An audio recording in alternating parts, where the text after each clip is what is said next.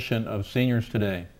I'm your host, Tom Barty, and we're lucky enough to have with us here today the Chief of the Fire Department, Mr. Paige Meyer. Welcome, Paige. Thank you. It's an honor to be here. Thank you for having me. Oh, thanks. Um, so, how are things going in the fire department nowadays? Well, um, right now, great. We're doing uh, great things in the fire department. We're going to talk about a few of them. Uh, our morale's high. Our guys are working hard, and, and, and men and women are working hard, and uh, things things are great right now. Well, that's terrific. I know that um, it's been a it's been a difficult four or five years for the city of Vallejo. Absolutely. And, and the fire department was definitely impacted as much, if not more, than a lot of the other departments at City Hall. We had closure of numerous fire stations, and uh, fortunately, we've been able to bring things back a little bit. I think we just re- recently reopened another fire station. Is that correct? Yes, that's right. We uh, uh, fortunately we uh, were able to uh, get some safer grant money, which is staffing adequate fire and emergency resources. It's a FEMA grant, a federal grant. That's allowed us to hire uh, a total of 12 firefighters. It's in, in, in excess of $2 million given to the city a year. So during this transitional period of that, that money, we've been able to open up Station 25 on Mini, um, Minnie Drive in North Vallejo. And that's been opening and closing since the first of the year, but will be open permanently uh, July 1st. So we're looking forward to that. And, and it was a tough couple of years, or, or several years, but you know, a testament goes out to uh, the folks in the firehouse, uh, the firefighters. They, uh, they've got a passion for what they do, and, and uh, they've been able to do a great job for the citizens, and, and it's been, it's been a, a good ride for them. Yeah, I know that the Vallejo Fire Department has a terrific reputation regionally for not just for their passion for the job, but their training and their dedication and commitment. And I know that's really helped us through the last few years. And uh, you know, a lot of people at first were concerned about the reduction of of, of the of the force and the number of stations. And I think uh, we were able to do a terrific job at uh, reallocating our resources and uh, make, making sure that if we had to close a station, it was one that wouldn't impact response time significantly. And I, I think we're able to continue to protect the safety of the citizens, both from the EMS perspective and the fire perspective over the, you know, the last few years, and, and we're just getting better now. Yeah, and that's true. You know, uh, one of the things that we've done recently as we go through this process and these changes and the reduction in, uh, in engine companies is we're kind of tasked with figuring out the best way to allocate our resources. And what's been really rewarding is uh, it's been driven by a consensus uh, through firefighters and management staff coming together and really looking statistically at the challenges that are out there, both from a fire perspective and an EMS perspective. And we've really fine tuned it over the last year and we've been able to identify our weaknesses and really address them so that we can be not only more efficient um, but smarter with the way we do business. And I think that's what the citizens um, are seeing and are, are, feeling, and, and it really keeps our morale high as well because then our folks go, well, hey, we're doing things the right way and we're using. Um, uh, prioritizing, using everything we can to figure out uh, the best way to solve the problem. So that's been that's been great. And uh, you were talking about the SAFER grant, uh, two million a year with 12 firefighters. How long will we continue to get that grant? So that grant is actually two grants. We were we were awarded one grant for three and then one grant for nine, and uh, they're two-year grants. And uh, again, they're federal grants. And uh, the good thing about federal grants is they want to get that money out there. They realize that the cities and the counties are suffering right now with the bad economy. And we all are. We see it out there on a daily basis. So they really wanted to ensure that we're prepared uh, in case of an emergency on the street level. So those two grants will last two years. Uh, however, we can put in for extensions. We can ask for more time. And we will definitely do that. And we're actively pursuing more grant funding. We just recently uh, submitted our latest grant for nine more firefighters for two more years. Uh, and that we got the highest rating, uh, which when that gets reviewed, we are right up there with the best of them, and we may get another nine. So we're not only doing, we're not only being smarter with our resources, we have great folks in the firehouse that are spending their time figuring out how to solve the problem, which is get the service out there to the citizens. And if we're able to get that grant as well, we're really um, putting Vallejo in great shape to respond on a daily basis to fires and emergency medicals and rescues. Now, uh, just for our audience, uh, to get a little feeling for the kind of work that our fire department does, um, there's a separation between the types of call for service. We have the fire calls and then the other kinds of emergency calls. And typically, isn't aren't the fire calls about one sixth of the total volume or something along those yeah, lines? you're you're right about right. It's right uh, depending on the year. Um, fire calls we consider any fire uh, to be a fire call. So it could be a vehicle fire, it could be a, you know a stove fire, or it could be a you know what we had at the Mare Island. Uh, yeah. um, building, which was 300,000 square feet. Those are all our fires. And those are typically running in Vallejo around 15%. Sometimes it can get close to 20%. And you're absolutely right. So it's a smaller percentage. Um, the only thing uh, that is deceiving is we run over 12,000 calls a year now. Our call volume continually rises. And so at 12,000 calls, you can kind of start doing the math and, and, and figure out, wow, you're over a 1,000 to 2,000 fire type calls a year. So uh, that's a lot. And the reason this city um, tends to have a, a, large number of fire calls is because of the age of the structures. Number one, we have a, a, a rich history in Vallejo with a lot of incredibly beautiful buildings and architecture, but it, they're, they're, they're old. You know, and uh, and when you have old buildings, you have old electrical, and you have a lot of challenges with that. So we get a lot of fires that way and uh, and it's a challenge, but it's something that we take a lot of pride in uh, because in the county we run more fires per firefighter, and I would probably venture to say in the state some of our engine companies are, are up there in the top um, most busy fire engine companies in the state as well, and that's. Uh, a good and bad thing. We don't like to see people suffer, but at the same time, this is a craft and a profession, and our guys really enjoy getting out there and making saves and stops on fires uh, because it's what they signed up to do. So, and and one other thing that um, a lot of times people don't recognize is Vallejo is, is considered to be an urban city, and because of that, we have different requirements. We even have, or had, didn't we, a uh, a uh, firefighting vessel, a boat. That yes. we could actually take over through the Napa Straits. yes, yes. We had two boats actually. Uh, and um, right now we're down to one boat. We call it the Neptune, and that boat is um, is valuable for a lot of reasons. Uh, the main one is that it can pump over a thousand gallons a minute. So if we have any fires out on the straits, we can respond effectively and make a difference. From a rescue standpoint, all our folks get water rescue training and have water rescue equipment on the engine and truck companies. So that tends to be more of a land to, to water effort.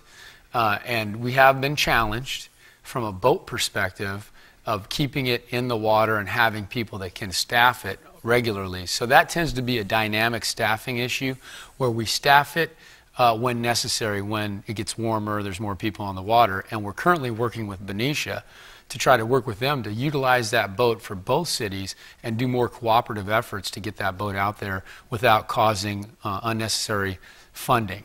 So.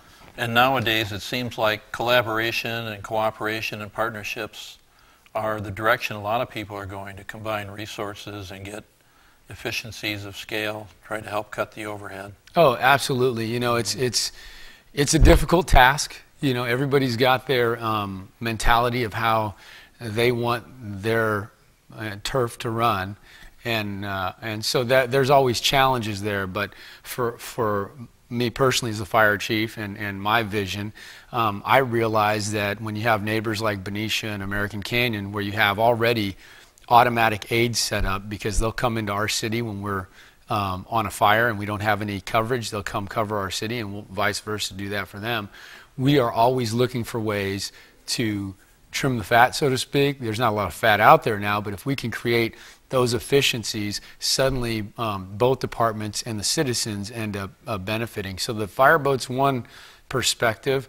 Um, and we're looking at other areas um, as we speak. I'm in meetings uh, all the time to look at different areas that we can combine and just work a little bit smarter on. Well, one area it seems like um, a lot of different cities and municipalities and counties get together on is emergency preparedness training. Yes. Now, we have a program that uh, you're kind of supporting or doing training on or helping to implement. Could you give us a little background on that? Yes, we have um, what's called a Community Emergency Response Team, or CERT is the, is the acronym. And the CERT teams uh, have been around for a while, but uh, due to funding or lack of funding, we haven't been as aggressive as we probably should have or could have been in the past. Uh, we've been fortunate enough to get grants to help sustain and start funding that again uh, from the county. And what those are, those are community teams of, of people in the neighborhood that can come and get training, a six week program, four hours a week. They can be trained on the basics during a major emergency or, or disaster. Mm-hmm. And that's so important uh, from the fire uh, perspective uh, because we are 15 to 18 a day for a population of 120 to 130,000 people. And as we've all seen in the world uh, emergencies and tragedies and, and disasters, as well as the national disasters, there's just not enough staffing from a fire and police perspective. So, what we do is we utilize those teams to train themselves to be able to take care of their own homes, their own neighborhoods, their own blocks, and then that training goes a little bit further and allows them to be part of the solution, whether they're triaging and looking at medical conditions of patients so they could report back to us to kind of prioritize the disaster. All those areas is what they help us out with. So that's been a, a big benefit. Um, it's something that I'm passionate about. Uh, we have great citizens. We have two classes going on right now. And my vision is to sell that program as much as I can and get people interested, trained, and our vision, our long term vision is to bring together block captains, neighborhood captains, so that when it does happen, it's not a matter of if, and we all know the earthquake uh, um, issues we have in the San Francisco Bay Area. When it happens, we have a plan. And that's better than having no plan at all and just being reactive. We want to respond to what we need to, you know, to handle. So that's a great program. We will continue to do it as demand exists, and, uh, um, and it's really kind of the rubber meets the road for our citizens and our neighborhoods. Uh, secondarily to that, would you like me to talk about, since we're at the senior program, I wanted to talk about the new uh, class that we have, which is Senior Cert. Yeah, I wanted to, if we could, cover that a little bit and also maybe just let people know if they're interested in getting the training or having their organization trained yes. how they would contact you to do that. Absolutely. If you go to our website, we have a, a CERT email. So you can actually go to the city's website, go to the fire department, and you what, can what find. What is the city's website? Uh, it's if you Google Vallejo, you'll be able to, okay. pull it up. Okay. And I apologize for not knowing that. Um, but it's uh, uh, www.vallejo.org, I believe. Okay. But I would double check that. Don't hold the fire chief to that. Um, but I wanted to bring up actually because you made a great point as during our discussions. You brought up a uh, um, a fantastic idea. So I got to give you credit for it, Tom. But okay. uh, but we have the senior cert program, which you can sign up for through the website as well. And the senior cert program is a, is a shorter version. It's not a six week program. But what it does is it identifies our, our greatest concern during a disaster, which are our seniors. There's two areas that we, we're concerned about. We're concerned about schools, obviously, so school age children, and our seniors, because they're the most at risk. So, what this program is, it's a four hour program, but it can be condensed. And what we do is we teach seniors how to secure their homes, their residences, make sure that they have the proper amount of food, water on um, uh, available, and they can take care of themselves. We're not worried about them going out and being neighborhood captains. We just want to make sure that they're safe in their homes until we can actually make a difference for them. And you brought up, excuse me, you brought up a great point, which was maybe we could video a half hour segment to go over the basics of the senior cert for the show here. And uh, we're looking forward to doing that with you as the host. And we already have plans in place after, we, after our discussion to bring the, the crew down to the fire station and kind of walk through the different areas um, in a quick half hour segment so that the folks at home can see kind of the necessities and the, and the areas that they should be concerned with. Yeah, well, that, that would be great. So that's a thank you to you. well, that, that's okay. So, uh, one, one of the things that was also a part of that was the concept of train the trainer. Are you still doing that kind of thing where you go out and you train leaders in different groups and then they have the ability and the motivation to go and train another group of people and another group eventually? Absolutely. In theory, you have the whole community ready to go. Well, and that's it too. That's kind of where we're going. One of the things, train the trainer does take a, um, a, a level of commitment of being trained to a higher level. So we are always offering that because it's twofold. Our reality is we only have so much staff, so many staff members that can teach this, these, these areas of expertise. If I can get community members that can also volunteer to teach, I can make the limited funding go a lot farther. Mm-hmm. And we'll host them at the fire department and continue down that path of, of working with the community and utilizing the community to do exactly what you're talking about educate more and more people. We also are proud to, to uh, have worked with uh, and continue to start to work with the Red Cross. The Red Cross is a great organization with incredible volunteers that I've met with personally and I'm just so impressed with. And they've come, uh, stepped up to the table and said, we want to be a part of this. And that's just, you know, for me, it's a great thing. It's a great thing for our CERT um, coordinator and our trainers to be able to utilize their expertise on some different areas and get that training out to not only to our staff, the community. So we're partnering with as many people as we can so that we can get a synergy going and get this thing moving in the right direction and not just a little bit, but make it go a long way. And uh, I understand that um, as a testament to the city's commitment to this, the, uh, the city manager, Phil Batchelor, who is sort of still with us, but we have a new guy, they're, they're in transition, uh, made arrangements for 20 or so uh, managers from the city to go to training in San Luis Obispo. Yes, um, we have. There's a 40-hour disaster preparedness class, uh, and really, it should be required for all city staff because uh, what what happens in cities is people just think that the fire department's going to handle everything or the police department's going to handle everything, and the reality of it is, is the fire department's going to be overwhelmed operationally. So operationally speaking, they're absolutely right. We're going to be out there doing everything we can and, and requesting resources to help us operationally. But there are several areas of a response to a disaster that is required by the city, by all staff members. Um, Public Works becomes a big player when you're dealing with collapsed buildings and roads and, and waterways and all the things that might happen um, and negatively impact the infrastructure and the citizens. We need to tap into public works. We need to tap into finance because finance has a requirement to document funding. Uh, everything we spend, they have to document, and if they don't document it per uh, the proper protocol, the federal money won't come to us.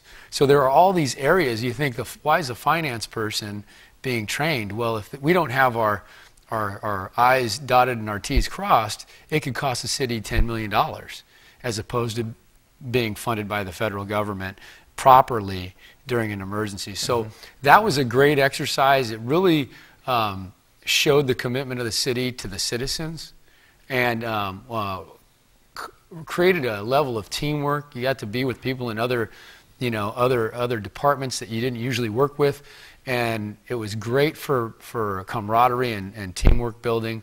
It was great for an eye opening exercise for people that went, wait a minute, this is my requirement. I didn't know mm-hmm. that this was my role in an emergency. So that's been uh, a great thing. And I give credit not only to Phil Batchelor, but Dan Keen, the new city manager, has come in. And he is, um, the baton wasn't passed. I mean, he was running with it. And he made it very clear to, to, to, me that his goal is that we continue with CERT, we continue to get our people trained and prepared to respond to emergencies. So it's been a gr- smooth transition. there's complete buy-in by council members who've done a great job and also by the current city manager as well as Phil Batchelor. So it's a good thing, and I think that um, I'm really proud of, of, the, of, of the department heads and all the people in the city that went to the training. So we have uh, more to come on that one. Uh, Another thing we had talked about was CPR Saturday. Yeah, C- CPR Saturday. CPR Saturday is a great program. You know, um, And that's not for somebody that overdid it on, on Friday night. no, no, no. CPR Saturday is not a, a pill that's going to cure everything. But Okay. CPR Saturday, the great thing with CPR Saturday is a lot of people think, I got to go get CPR certified and I got to go to a 16 hour class and I have to take all these tests and I have to be certified to do CPR. When in reality, what's happening is the industry or, or is changing a bit. What they're finding through technology and studies are simple things that the community members can do out there to make a difference in somebody's life rapidly. So CPR Saturday is a two to four hour program. Now, this program deals with no certifications. You're not going to walk out with a card. But what it's going to teach you is what to do in those first couple minutes. And what has been, um, what has changed is in the past, we wanted people certified. We want them to give respirations to somebody who's had a heart attack. When we wanted to know, them to know exactly how to do CPR. What they found is if I just teach you where to put your hands on somebody to do chest compressions. You can get oxygen that's already in the blood flowing to the brain because that's what we want to do. We want to keep that oxygen flowing to the brain for as long as we can until the fire department gets there or your ambulance company gets there and they can actually start putting air on oxygen and drugs and life support uh, systems, whether it's, whether it's uh, drugs or um, a medical interve- intervention or a defibrillator. So until that happens, if there's no defibrillator and nothing there, if I continue to do compressions until somebody shows up, I actually extend that, that person's time to, or survival time. And different studies say different things, but we're confident that you can get a minute to three minutes more on somebody's life. And I bring that up because typically what you'll hear out there is the brain stays alive for four to six minutes. And it typically takes us less than seven minutes to get to your, to your home and to get you the care that you So need. you add the two together. So you start adding the, the two together, and if I can get two to three minute lead time, suddenly I'm at your house in five, six minutes. Really, it's we've condensed that time. We've shrunk our problem, is what we're trying to do. Um, and and we, we're giving our firefighters and our, our uh, paramedics a better chance at saving that patient. And that's So- our concern right there. So um, where and when is this? So program? CPR Saturday, the first one we did was at the Florence Douglas um, Senior Center. We did that one, I believe that was in uh, the beginning of March. Great success. We had several people there. I think there was, uh, we were expecting, I want to say 30, and we ended up with 75 folks. And uh, what we want to do is get the word out there. Uh, again, this is on our website. You can go on our website and request information. But we want to get the word out there for our seniors so they can get those basics down for a couple hours and they can make a two or three minute difference in somebody's life. And that's a, that's a big deal for us. And you'll see more and more information about CPR Saturdays coming up in different areas. We're going to um, be going to different convalescent homes and assisted living facilities to make sure that they get the training specifically targeted to those areas. And then that'll also be on the city website. The website will also put it out with press releases and, um, and emails and all kinds of stuff. So, Great. and council meetings. Great. Um, one thing that I know that you're working on, um, and, and it's kind of bringing something back that we used to have as a reserve program, and I think you're putting a little resident element into it. Could you give us some detail there? Ye- yes. Uh, one thing we did years ago, we did a trainee program. And uh, for some reason, over the years, Vallejo has never been a big reserve volunteer firefighter type city. Uh, for a lot of reasons, and, and, and some very reasonable. Um, and the thought process was we don't want volunteers running into building, burning buildings and getting hurt, uh, because uh, there is a level of professionalism and expertise and training that takes place in order for our folks to do what they do. But our, our thought process in the fire department now is let's tap into people that want to be firefighters. They have a passion for, for this business. They want to get experience. Let's bring them in because there are a ton of things that we need done in the fire department. As you were talking about earlier, we're doing great in our response. It can always get better as far as emergency medical uh, uh, responses and fire responses. But from a public education standpoint, when we talk about the CERT program, we talk about CPR Saturday, we talk about going out and educating our kids, we don't have as much time for those things. So we can bring reserves and volunteers in from the community, uh, be a part of their work experience as they are working towards becoming uh, firefighters, and utilize them as a support service as well as train them at the same time to bring them up to a level that uh, is professional and, and can be contributing uh, from that support service.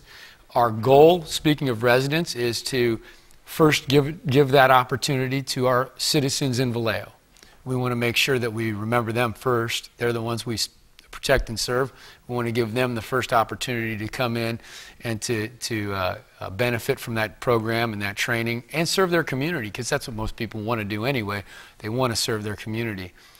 Uh, that's the number one goal. We will take people from outside Solano County, depending if uh, outside of the city in Solano County, depending uh, on our response, obviously, because we want this to be successful. But the citizens are first. We want them to be uh, have a vision of becoming a firefighter.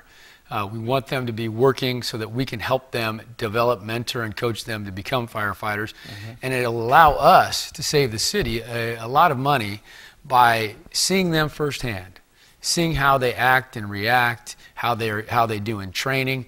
We can tear down a lot of the question marks and risk in hiring. So uh, we've hired great people. We've been very successful in our hiring practices.